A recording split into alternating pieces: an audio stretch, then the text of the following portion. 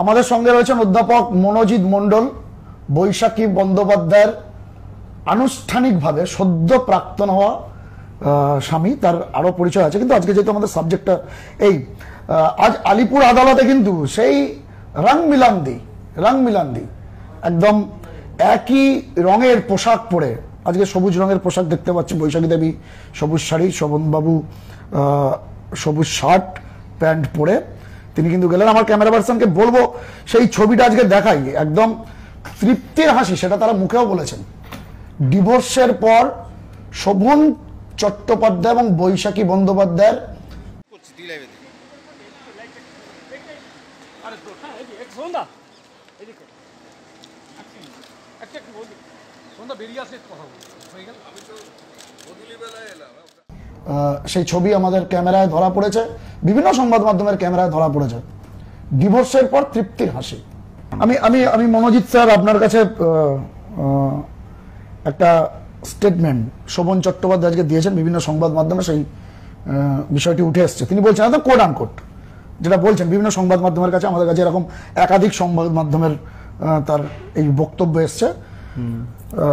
শোভন চট্টোপাধ্যায় বলছেন আজকের এই ডিভোর্সের পর মানে বৈশাখী দেবীর সঙ্গে, বৈশাখী বন্দ্যোপাধ্যায়ের সঙ্গে মনোজিৎ মণ্ডলের এই আনুষ্ঠানিক ডিভোর্সের পর শোভন চট্টোপাধ্যায় বলছেন, মুক্তির স্বাদ পেল বৈশাখী। আমিও অপেক্ষায় ছিলাম। বহু চক্রান্ত হয়েছে। বহু অসত্য পরিবেশন হয়েছে। আজও বলছি, যেখানে বুক দেখাই, সেখানে পেট দেখাই না। সমস্ত ধরনের সমস্ত ধরনের বিষয়ে দায়িত্ব নিতে আমি পিছোপা হব না।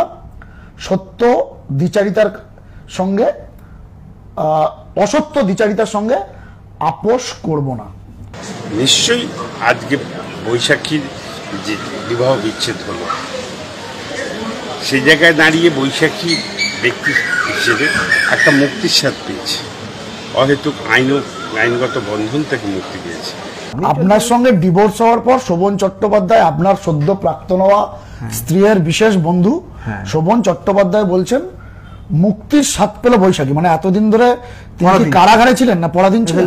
ওনার ব্যর্থতা। উনি তো পাবলিকলি সবাই জানে চার বছর ধরে ছিলেন। তেমন উনি মুক্ত করতে পারেননি ভাবুন। আমি কোথায় একদম গ্রাম থেকে এসে বাঁকুড়ার জঙ্গলমহল থেকে এসে যাদবপুর বিশ্ববিদ্যালয়ে সামান্যতম আমার কোনো পরিচয় নেই। উনি তো একসময় মেয়র ছিলেন কলকাতার। তখন থেকে একাধিক দপ্তরের মন্ত্রী ছিলেন। বন্ধুত্ব দু সবই past। থেকে মুক্ত করতে পারেন এর কতটা অসহায় ভাবুন।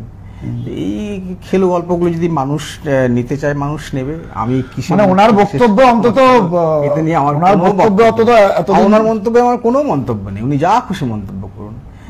আমার কাছে মুক্তির ডেফিনেশন আলাদা আমার কাছে পরাধীনতার ডেফিনেশন আলাদা। ওনার কাছে কি ডেফিনেশন সেটা উনি ভালো বলতে পারবেন। আমি কোনো মন্তব্য করলাম না। আমরা কিছুদিন আগে সোশ্যাল মিডিয়াতে ওনারাই ছেড়েছেন। শোভন চট্টোপাধ্যায় বৈশাখী বন্দ্যোপাধ্যায়। এবং আপনাদের সন্তান। তিনি তারা বেড়াতে গিয়েছেন কাশ্মীরে তা ওনারাই ছেড়েছেন। তখনও কিন্তু অফিসিয়াল ডিভোর্সটা হয়নি। মানে তখন কি বৈশাখী দেবী মুক্তির আস্বাদ না পেয়েই কাশ্মীরে গিয়েছিলেন আপনি ওনাকে জিজ্ঞাসা করেন আমি বলতে পারব না। ওই যে বললাম মুক্তির ডেফিনেশন কি? মুক্তির প্যারামিটার্সগুলো কি? আমার কাছে লিবার্টির প্যারামিটার হচ্ছে যে মানুষের ব্যক্তি স্বাধীনতা ইন্ডিভিজুয়াল লিবার্টি হচ্ছে first prerogative first prerequisite আপনার যদি ব্যক্তি স্বাধীনতা না থাকে সক্রেটিস থেকে শুরু হয়েছে যে আপনার রাইট আপনি- এই শোভন চট্টোপাধ্যায়ের মুক্তির কথাটা শুনে মুচকি হাসছেন কেন? না না না আর একেবারেই হাসছি না। আমি বলছি উনি উনি মুক্তির ডেফিনেশন কি কীভাবে ইলাবোরেট করবে সেটা উনি বলতে পারবেন। কতটা হলে মুক্তি হয় কতটা না হলে মুক্তি আমি তো এইভাবে কখনো মেজার করিনি। আমার আমার সাথে ওনার জীবনের মুক্তি ঘটে গেছে ওনার সম্পর্কে মুক্তি ঘটেছে দু হাজার আঠারো সালেই ঘটে গেছে। মানসিক একেবারেই মানসিকভাবে দেখুন মানসিকের সাথে আমি জানতাম যে আমাদের কোনো রিকনস্টিটিউশনের জায়গা নেই। এটা আমি জানতাম। তবুও আপনি ডিফেন্ড করেছিলেন? আমি ওই ডিফেন্ড করেছিলাম কারণ সেটা আমার যেহেতু আমার মেয়ে সন্তান আমার কাছে তখন ছিল আমার মনে হয়েছিল যেটা দরকার ছিল। প্লাস ওনার ওনার একটা ইন্ডিভিজুয়াল রাইট এটাতে আমি আমি ডিফেন্ড করার কে? উনি ওনার নিজের মতো করে জীবন কাটাতেই পারেন এখানে আমার কোনো বক্তব্যই থাকতে পারে সাংবাদিকদের মুখোমুখি হয়েছেন শোভন চট্টোপাধ্যায় এবং বৈশাখী বন্দ্যোপাধ্যায় আদালত চত্বরের মধ্যে। আমি একবার আমি মনোজিৎ দাও দেখছেন মনোজিৎ মন্ডল তাতে আমি অত আঘাত পাইনি। যতটা না মনোজিৎ যখন এই জোর গলায় বলছে যে উনি অনেক দায়ের দায়িত্ব পালন করেছেন সেইটা শুনে আমার কোথাও গিয়ে লাগছে কারণ এতে আমি অপমানিত হচ্ছি না একটি ছোট শিশু অপমানিত হচ্ছে। মনোজিৎ মণ্ডলকে কোনো দিনও আমার প্রতি এবং আমার সন্তানের প্রতি কোনো কর্তব্য পালন করতে হয়নি।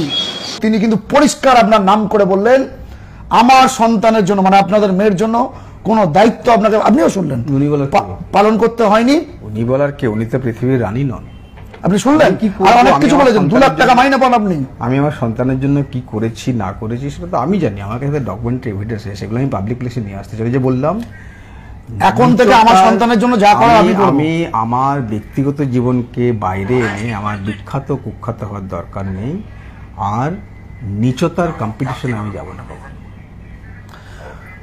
বৈশাখী বন্দ্যোপাধ্যায় পরিষ্কার বলছেন আজকের পর থেকে আমার মেয়ের দায়িত্ব আমি পালন করব। করছেন। ডিভোর্সে উনি করছেন তো উনি করছেন। আদালতের রায় কি বলছেন? আমি আমার মতো করে করছি। আদালতের কাছে আদালত আমাকে বলেছে আপনি বাবা হিসেবে যা করার সেটা করছেন আমি আমি সেটা আমি নিশ্চয়ই করে যাব। এবং মেয়ে যতদিন অব্দি ইন্ডিপেন্ডেন্ট হবে এটা আমার তো কমিটমেন্ট নেবে না নেবে সেটা তো মেয়ের ব্যাপার তাই না?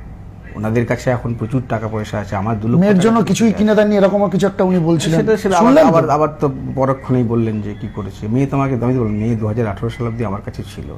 তার তো প্রমাণ আছে, সেগুলো আমি দেখাবো। আমার এগুলো মেয়েটা কিন্তু টানতেই চাই না। উনি টানছেন ওনার ব্যাপার সেটা, উনি ওনার ওনার ওনার স্বাদের ব্যাপার। আমার আপনি আপনি আমাকে যেহেতু মেয়ের প্রশ্ন হলো, আপনি আমাকে সরাসরি বলুন তো, উনিও যেহেতু পাবলিক করছেন, আমি আপনার কাছে সরাসরি জানতে চাইছি। আমি আপনার কাছে সরাসরি জানতে চাইছি যে বৈশাখী দেবী কবে আপনার সঙ্গে থাকা বন্ধ করলেন মানে অন্যত্র চলে গেলেন বললাম তো ডিসেম্বর মাসে থার্টি ফাইভ ডিসেম্বর দু হাজার সতেরো সাল থেকে। থার্টি ফার্স্ট ডিসেম্বর লিখিত দু হাজার সতেরো না আঠেরো। সতেরো। দু হাজার সতেরো মানে দু হাজার আঠারো সালের শুরু থেকে ধরুন। আর তখন মেয়ে কোথায় ছিল আপনার মেয়ে? ছিল। মেয়ে আমার কাছে ছিল। আপনার মেয়ে আপনার মেয়ে কবে মার কাছে গেল? মেয়ে দু হাজার উনিশের এপ্রিল এপ্রিল। প্রায় দেড় বছর আপনার কাছে ছিল? তার আগে থেকে উনি বাইরে থাকতেন মানে কম আসতেন বাড়িতে। তখন মেয়ে আমার কাছে এই দেড় বছর এই দেড় বছর দু বছর, হ্যাঁ। এই দেড় দেড় থেকে দু বছর ওনার কাছে যাননি? না উইকেন্ডে যেত। উইকেন্ডে গেছে কিন্তু ম্যাক্সিমাম সময়টা আপনার থাকতো। পরে মেয়ে আমার কাছে উইকেন্ডে তারপরেও বৈশাখী দেবী উনি বলছেন যে মনে কোনো। কর্তব্য পালন করেন উনি ওনার মনে হয়েছে এটা বলেছেন উনি পৃথিবীটাকে ওনার নিজের মতো করে দেখতে চাইলে দেখতে পারেন আমার তাতে কোনো বক্তব্য নেই। বৈশাখী বন্দ্যোপাধ্যায় আলিপুর আদালতের বাইরে এসে সংবাদ মাধ্যমের মুখোমুখি হয়ে কি বলছেন সেটা আরেকবার শোনার চেষ্টা করব মনোজিৎ বাবুকে বলব আপনিও শুনুন। শুধুমাত্র একটা সিকিউরিটির জন্য সেরকম আলাদা থাকার সিদ্ধান্ত নেই। তার আগে থেকেই নিশ্চয়ই আমাদের বৈবাহিক জীবনে নানান টানাপোড়েন শুরু হয়েছিল। সেটা বলতে পারেন যে কেন তাহলে এতদিন ওয়েট করেছি? আমার কাছে এই বিবাহ বিচ্ছেদটা সেই দিন হয়ে গেছিল যেদিনকে মনের দিক দিয়ে সম্পর্কটা ভেঙে গেছিল। আর যেহেতু একটা বড় স্টেটমেন্ট করার জন্য একটা সামাজিক স্টেটমেন্ট করার জন্য আর আমার বিয়ে হিসেবে আমি দেখেছিলাম। কিন্তু যখন একটা বিপ্লব ভেঙে যায় তখন কারোর মনই ভালো থাকে না। আমি মনে করেছিলাম যে কাগজে কলমে যে কোনো দিন পরিণতি দেওয়া যায়। কিন্তু সম্পর্ক যখন ভেঙে গেছে তাকে জোর করে আঁকড়ে থাকব শুধুমাত্র একটা সিকিউরিটির জন্য সেরকম মানুষ আমি নই। মুক্তি পেলেন বলে মনে হচ্ছে? মুক্তি বা মুক্তি নয় আমি দেখুন আমার আমার কাছে আমার স্বাধীনতা আর আমার মুক্তিটা খুব গুরুত্বপূর্ণ। দেখুন আমার মনে যদি কোনো কিছু নিয়ে গ্লানি হয় সেই রকম কোনো সম্পর্কে আমি ঢুকবই না। আমার কখনো মনে হয়নি যে শোভন আর আমার সম্পর্কের মধ্যে কোনো গ্লানি আছে কারণ আমরা কেউ কারোকে ঠকাইনি। এই সম্পর্কে কেউ কাউকে ঠকায়নি। শোভন চট্টোপাধ্যায়ের সঙ্গে বৈশাখী বন্দ্যোপাধ্যায়। বৈশাখী দেবী বলছে আপনি ঠকিয়েছেন উনি তো কিছুক্ষণ আগে অন্য কথা বললেন। যে মুক্তির স্বাদ পেলেন আমি ওখানে ঠকাচ্ছিলাম। একটা ঠিক করে একটা সিঙ্গেল ন্যারেটিভ কথা বলতে বলুন না ঠিক করে কথা বলুন না। আমার দু লক্ষ টাকা আছে এক লক্ষ টাকা আছে আমারটা হোয়াইট মানি আমাকে কিন্তু জেলে যেতে হয়নি। ভদ্রভাবে বাঁচি। সেই জায়গা থেকে মেয়ের জন্য যতটুকু করার আমি করব। এর বেশি কিছু বলব না। উনি তো বলছেন যে এখন থেকে আমি আমার মেয়ের জন্য আমি সবকিছু করব। আপনি তো কোনো দায়িত্বই পালন করেন সে দেখুন উনি করতে পারেন আর মেয়ে যদি ওখানে থাকতে ভালোবাসে তার মানে আপনি কি বলছেন বাক স্বাধীনতা আছে যে যা পারে বলে? বলুক না মেয়ে যদি দেখুন আমি আমি আমার মেয়েকে জোর করে আনতেও যাব না। আমি আমার মেয়ে দশ বছর বয়স হলেও আমি মনে করি মেয়ের যেটা ভালো নিজে বুঝবে মেয়ে করুক। কিন্তু এইটুকু বলতে পারি আমার কখনো সিবিআই গিয়ে জেরা করবে না জেলে যাবে না।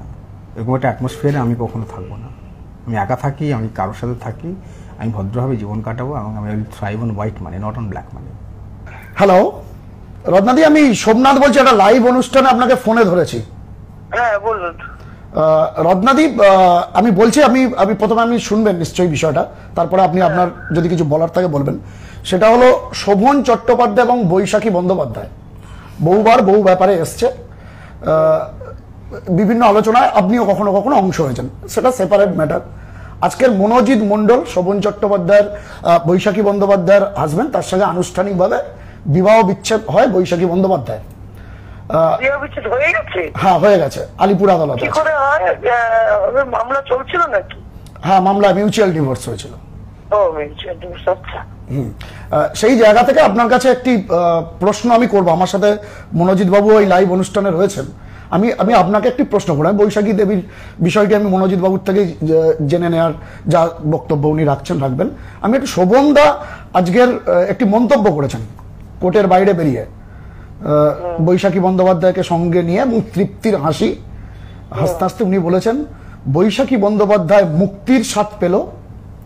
অনেক কুৎসা হয়েছে, অনেক অসত্য হয়েছে, অনেক চক্রান্ত হয়েছে। আমারও এই আদালতে বিষয়টা রয়েছে, অনেক বিষয় রয়েছে। মানে উনিও অপেক্ষা করছেন আর কি মুক্তির স্বাদ পেতে। আপনি কবে মুক্তি দেবেন? মুক্তি আমার বাইশ বছর আমি বলেছিলাম যে বাইশ বছর বিয়ে হয়েছে বাইশ বছর জীবন যেমন আমার নষ্ট করেছে আগামী বাইশ বছর ওনার জীবন আমি নষ্ট করব। আগামী বাইশটা বছর উনি আমার পেছনে দৌড়ক নিশ্চয়ই মুক্তির স্বাদ পাবে। রত্নাদি মনোজিৎ স্যার মনোজিৎ মন্ডল তিনি তিনি তিনি কেন ডিফেন্ড করেছিলেন?